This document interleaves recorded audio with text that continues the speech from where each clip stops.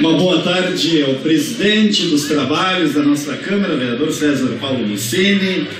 Cumprimentar os secretários, o vereador Márcio e o vereador Érico.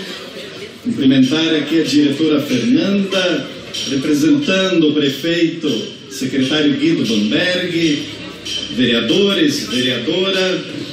Cumprimentar aqui na pessoa da minha esposa e da dona Generosa, que é a comunidade aqui presente demais servidores municipais. Eu trouxe só um livrinho aqui para falar, é rapidinho. Brincando. Começo falando algo que a diretora colocou aqui na abertura, Fernanda. Se fosse muito feliz, porque tu trouxestes aqui o seguinte: a integração da escola na comunidade. Inclusive citastes pensador Edgar Morin, mas dissestes assim: a escola vai ter que nestes dias, neste evento, na prefeitura mais perto, ter que se reinventar, tem que se reorganizar, porque tanto os alunos quanto os professores, os servidores, vai ser um momento diferente. Mas é importante porque é uma relação que a escola vai ter com a comunidade.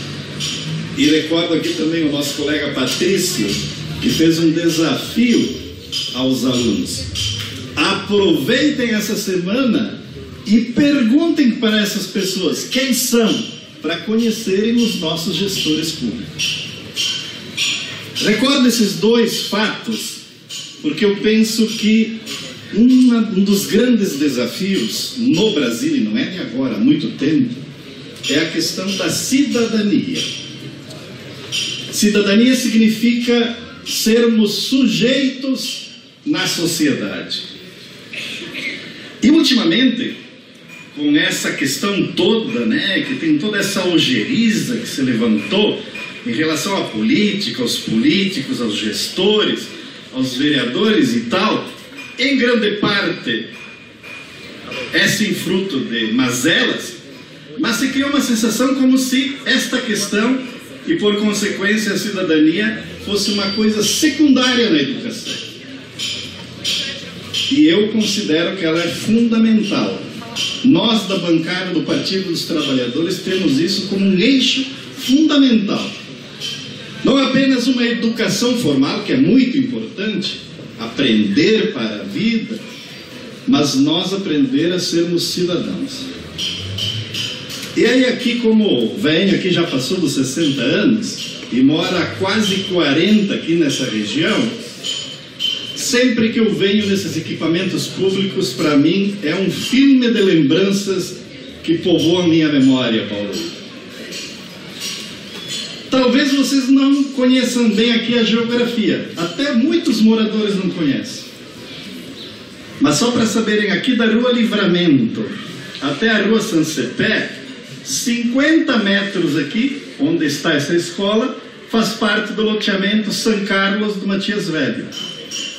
Dos dois lados são áreas de ocupação. Vila União dos Operários, cerca hoje de 1.300 famílias. Santo Operário, na regularização fundiária, 3.500 famílias. Vila Natal, que nem teve processo ainda de regularização, mais de 1.500 famílias. E entre 80 e 85, quando a escola aqui iniciou, iniciou no início de 86, nesses cinco anos chegaram todo esse pessoal dessa região. E uma das grandes necessidades era ter a escola. E na época a área de segurança, né, prefeitos nomeados, não era fácil. Dona Generosa foi uma que participou dos clubes de mães que seguidamente se faziam manifestações e reivindicações. Recordo ainda que foi no período do Cláudio Schultz que esta escola ela foi encaminhada e no seu sucessor, breve período, Francisco Biazusa, que ela iniciou as atividades. Depois vieram os governos seguintes.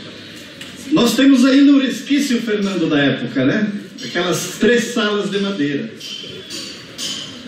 Cerca de dez anos depois, se eu não me engano, na gestão do prefeito Dick, foi realizada essa parte de material.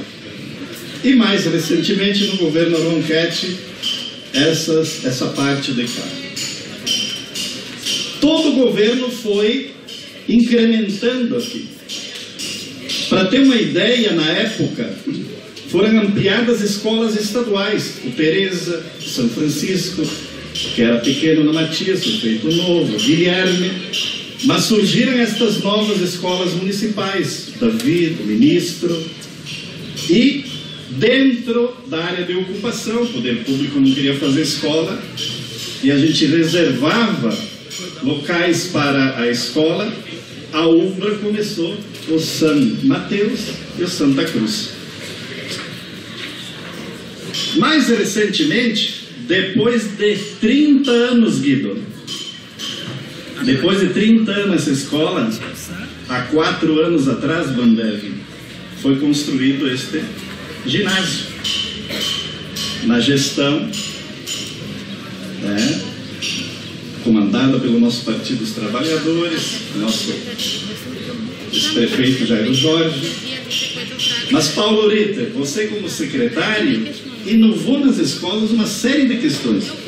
Políticas inovadoras, na gestão, a melhoria na merenda. O seu filho Carlos, né, Dona Generosa, na época tinha uma cumbuquinha de sopa e quando eles reclamavam muito da sopa, vinha o achocolatado com bolacha. Mas aí começou merenda de qualidade, começou o uniforme escolar. Como aos poucos a cidadania foi ampliando o ambiente da escola. Mas não só isso. As áreas de ocupação aqui, Santo Operário e Lendos Operários, enxergaram asfalto, que é uma realidade dos bairros da cidade, na última gestão. Não é brincadeira, né? O Dário, que foi secretário de obras na maioria do período, 8 quilômetros aqui na União dos Operários, 20 na Santo Operário, fora Natal. Todas as vezes. Então veja bem o poder público presente.